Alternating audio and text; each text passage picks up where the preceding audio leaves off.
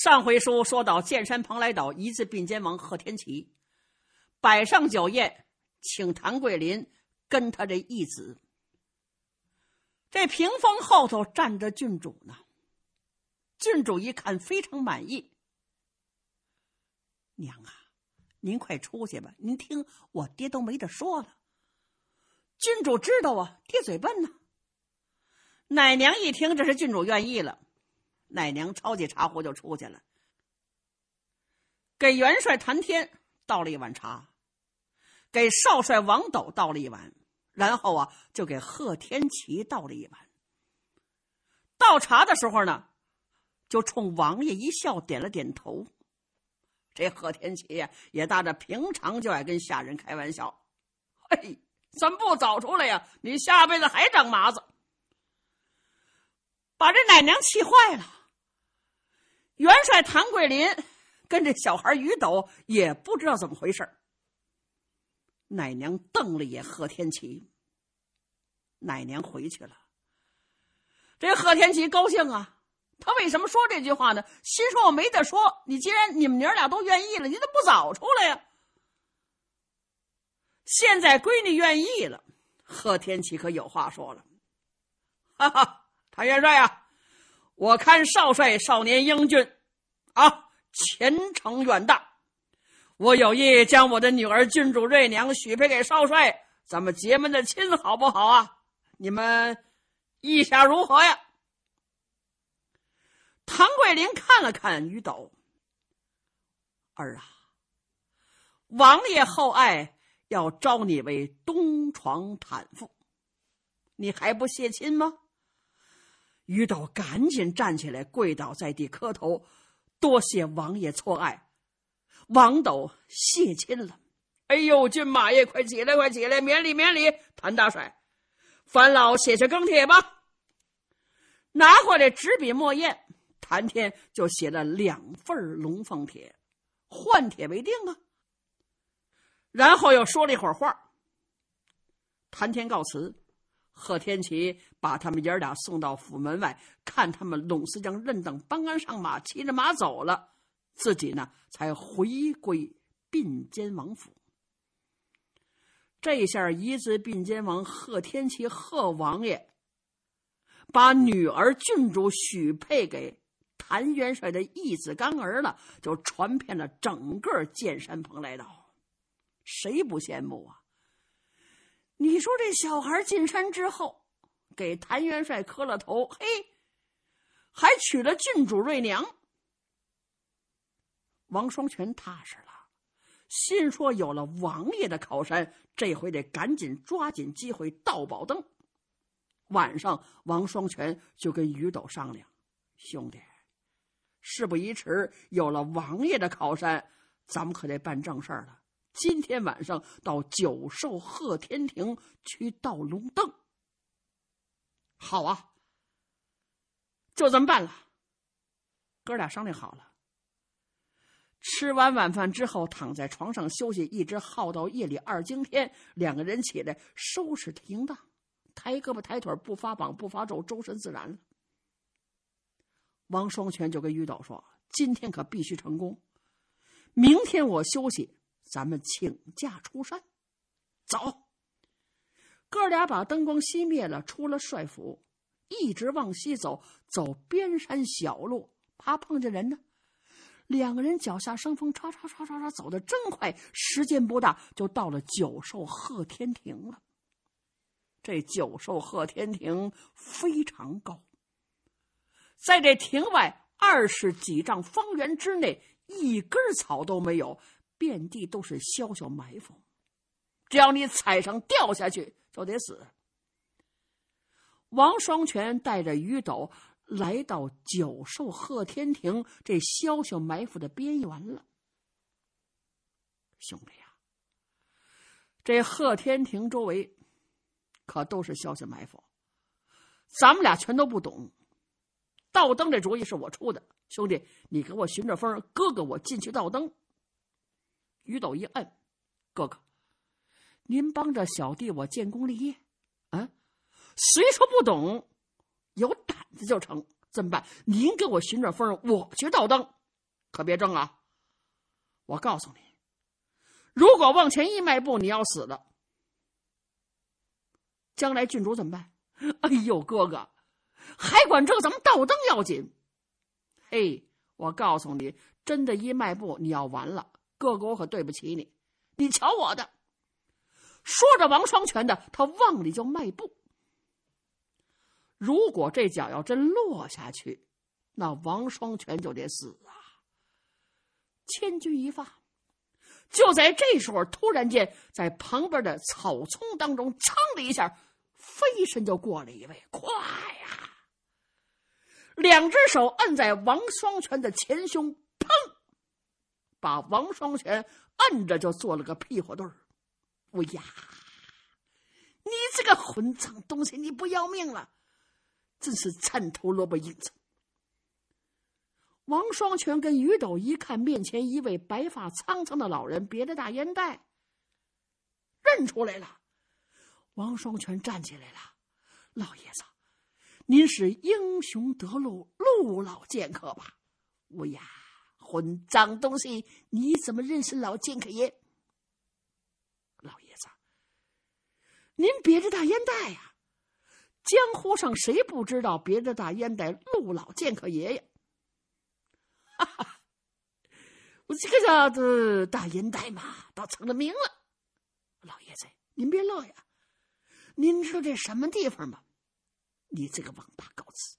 我告诉你，这个咖喱我天天来是没有人的。这老剑客爷怎么天天来呀？咱们前边说了。陆老剑客在二打剑山蓬莱岛正热闹的时候到的，两边打的挺欢。陆老剑客爷上了大船了，拿着烟袋锅子把慈云打了。剑山要撤，为什么？董华一要来了。剑山船往回撤，三庄的船往前攻。这一乱，陆老剑客爷趁着人不防备。三窜两纵的就进了剑山蓬莱岛了，找一山洞藏起来了。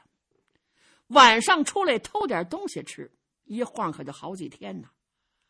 这天老剑客也走着走着来到了太平寨。这太平寨里，老寨主太平侠质亮在大厅前边正在教徒弟练把式呢。太平侠质量可给这些剑客爷帮了忙，帮的不少了。头一个赠给董谦一口宝刀啊！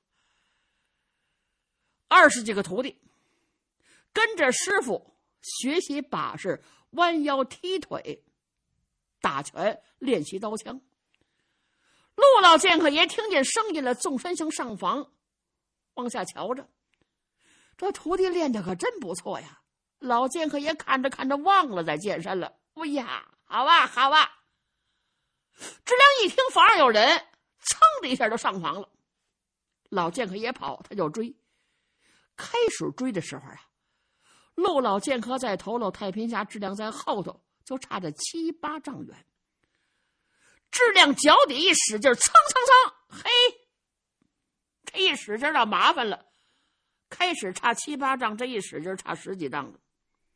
质量把绝功都使出来，唰唰唰唰唰，走得快呀！脚下生风，更坏了。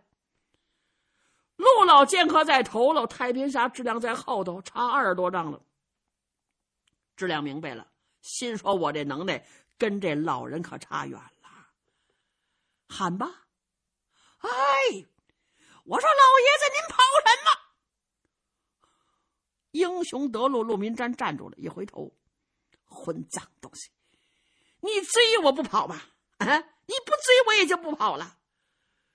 志亮走到近前一看，你是陆老剑客吧？哎呀，你怎么晓得呀？天下闻名哎，老剑客爷，您瞧您别这大烟袋，哈哈哈！我的大烟袋，我的大烟袋，我都成了名了，哈哈哈！老剑客爷，您别乐，这是剑山蓬莱岛，您怎么这么大的事儿啊？哎，我晓得了。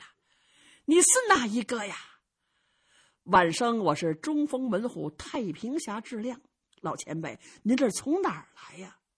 嘿，你是质量个乌鸦？什么叫我是质量乌鸦呀？哎，乌鸦呀，参头萝卜缨子，我告诉你是这么回事，这么回事，这么回事。英雄得路，陆民瞻就把自己的情况始末缘由说清楚了。太平侠质量点了点头：“老爷子，您呐，赶紧跟我进我这大寨吧，在我这大寨这住着，保您吃得饱，睡得香，什么事儿都没有，好吧？你这个小子还很孝顺，走吧。”这样的爷儿俩呢，就进了太平大寨了。陆老剑客爷住在太平峡质量这儿，有吃有喝，无忧无虑。哎呀，我说质量啊。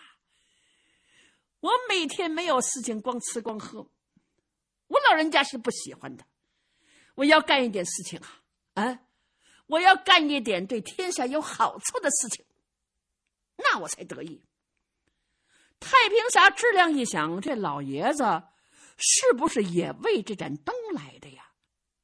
老人家，您是不是也想？把八宝夜明灯倒出来，送到北京啊！喂呀，这个宝灯是什么东西？我怎么知道？它在哪干里？我也不知道啊。那老剑客爷，您不是为宝灯来的？喂呀，那就算我为宝灯来的吧。嘿，老剑客爷，您怎么说都有理啊。你这个参头萝卜缨子，告诉我宝灯到底怎么回事啊？我就为宝灯来的。老剑客爷不傻呀，说保灯保灯就有事儿啊。老剑客爷，画图画亮宇由打北京宫中大内到了一盏灯。我跟你说，放在九寿贺天庭了。这九寿贺天庭那是谭天谭桂林的岳父设下的小小埋伏啊。总贤在我这儿呢，分贤在哪儿？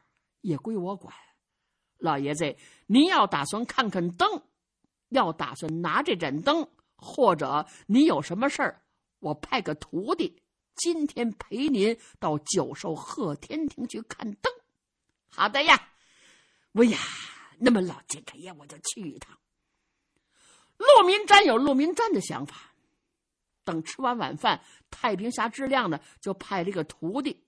这徒弟呢，姓赵，叫赵亮，领着老剑客爷就来到九寿贺天庭。这赵亮用手一指：“老剑客爷，您看，这个周围可全都是小小埋伏，厉害极了。谁踩一脚，底下翻板一翻，准死无疑。您看这间小屋了没有？分贤就在这小屋里呢。下次赶紧开锁。”我老人家要去看看这分贤怎么回事。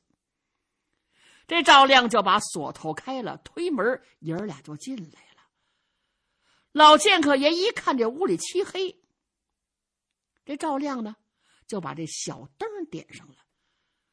剑客爷，您瞧。陆明瞻一看这有个铜拐子，就瞧这赵亮一伸手，把这铜拐子捻了十八扣，这分弦就算关了。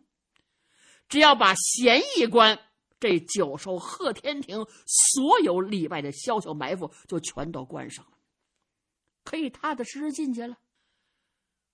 太平峡质量这徒弟赵亮，领着老剑客爷智民瞻就进了九寿贺天庭。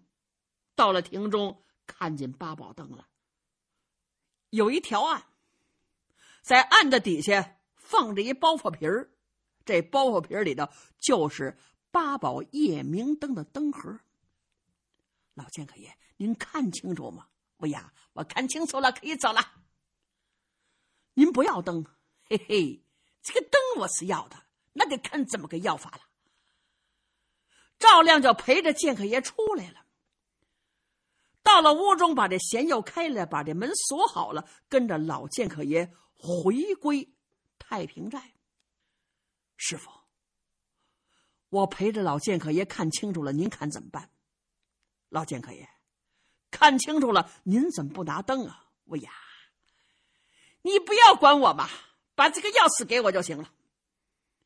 太平侠质量就把这小屋的钥匙给了老剑客爷了。这老剑客陆民瞻每天白天在太平峡质量这寨中吃喝睡觉。到了晚上，天一擦黑他拿着钥匙就来到九寿贺天亭外的瞧着，他猜着准得有人来倒灯。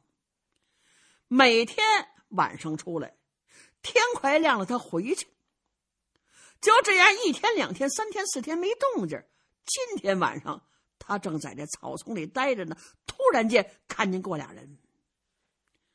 这老剑客爷心说：“你们这两个人想倒灯，没关系。你们只要懂得消消埋伏，你们就把灯倒走，交到北京去，我就算踏实了。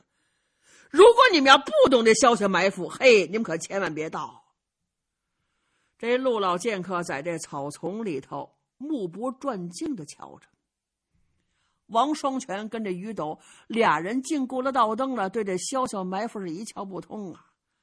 俩人这还争呢，老剑客也全听见了。这意思呢，你们就不懂这潇潇埋伏，还想迈步呢？混账东西，前来送死！他瞧王双全把这脚抬起来了，陆老剑客噌的一下纵身就出来了。双掌一打，扑通一下，把这王双全打一屁股墩儿。前头萝卜缨子，混账东西，前来送死！王双全起来，认出来是陆老剑客，这才磕头把来意说清楚了。老剑客爷拿着大烟袋，烟袋锅子直敲这王双全的脑袋。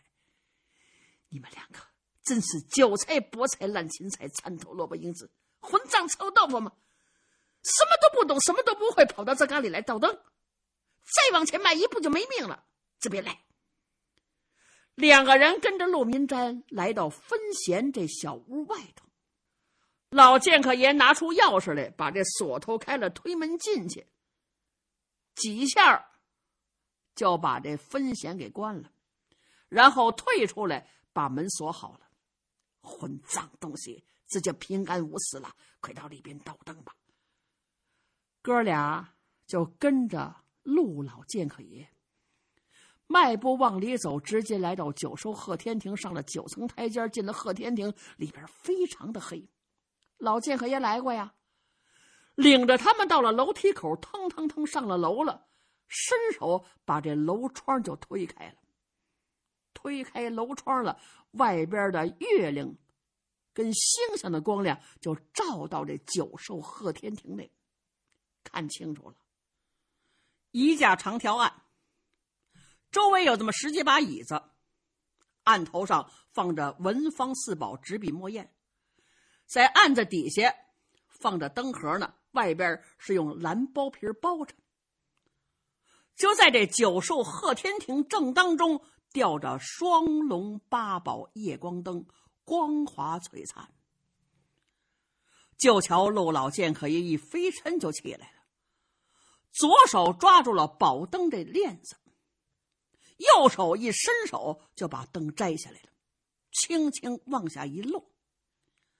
王双全一伸手就把这盏灯里边的油碗取出来，把灯呢就倒在案头上，拿了一张纸给擦干净了，又把这灯碗呢放到灯中，拿纸给塞紧了，在这案子底下把这灯盒拿上来。蓝包袱皮打开，盒盖打开了，就把这灯折叠好了，往里一放，用纸给塞严了，盖子盖好了，蓝包皮一包，王双全呢就把这蓝包袱皮背在身后，胸前一系扣，挺利落。陆老剑客也乐了，乌鸦不错呀，走啊！这爷儿仨呢，就由打上边下来了，出了九寿贺天庭。乌鸦！你们两个混账东西，要仔细留神，我可要走了啊！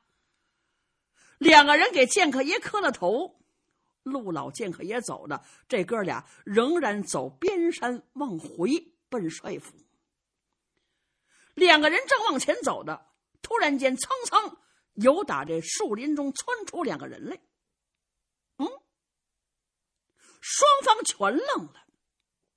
站着！干什么呢？身背后背着什么东西？王双全大吃一惊，仔细一看呢，好像面前这人是一个巡山的旗牌，身后头是他的亲兵。啊，朋友，我是大帅府的棋牌官，我姓王。因为我家帅爷的胞妹要出嫁，英王千岁呢，把这八宝灯赐给元帅作为聘妹妹的妆奁。谭元帅呢，叫我今天把灯给取回去。哦，这么回事啊，请吧。于斗就放心了，心说谢天谢地，幸亏我哥哥会说，总算化险为夷了。哥俩回到了棋牌营，由打这屋子南后窗进去，不敢点灯。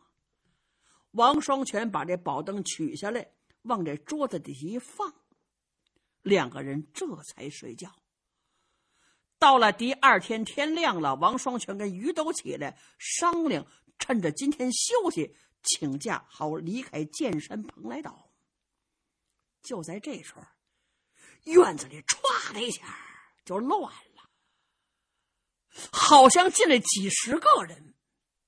有人高声喊嚷：“屋里人全出来站队啊！大帅训话。”听出来了，进来的人可不少啊。于斗就把桌子底下的灯盒往里用脚踢了一下，然后把军人带好了。王双全两个人就出来了。这棋牌营里四十八名棋牌全都出来了，站了两行，一共是二十四对王双全在前边，他是头啊。于斗呢，站在后边。一瞧，谭天、谭桂林面沉如水，在谭天身背后四个战舰将军，照灯照亮石天龙、石天凤，还有四十八名王冠武士。手持军刃，威风凛凛，煞气腾腾。旁边还站着两个，一个是诸葛健，一个呢是杜清风。这四十八名棋牌官谁也不敢说话。谭天拿眼睛挨着个的看，扫了一遍，最后呢，这眼神就落在了王双全跟后边的于斗身上。昨天晚上，有人冒本帅之名到后山九寿贺天庭盗走了八宝夜明灯。赶紧献出来，念你们是初犯。如果要是不现，被本帅查出来，定杀不赦。于岛王双全心说：坏了，这盗灯的案怎么翻了呢？坏在哪儿了？坏就坏到昨天晚上，有打树林中走出这二位了。这二位还没什么关系。这二位呢，身后头还有两位。身后这二位是后山一字并肩王贺天齐手下的人。王双全跟于斗道灯，让后山的人知道，可就坏了事儿了。到底王双全、于斗性命如何？下回再说。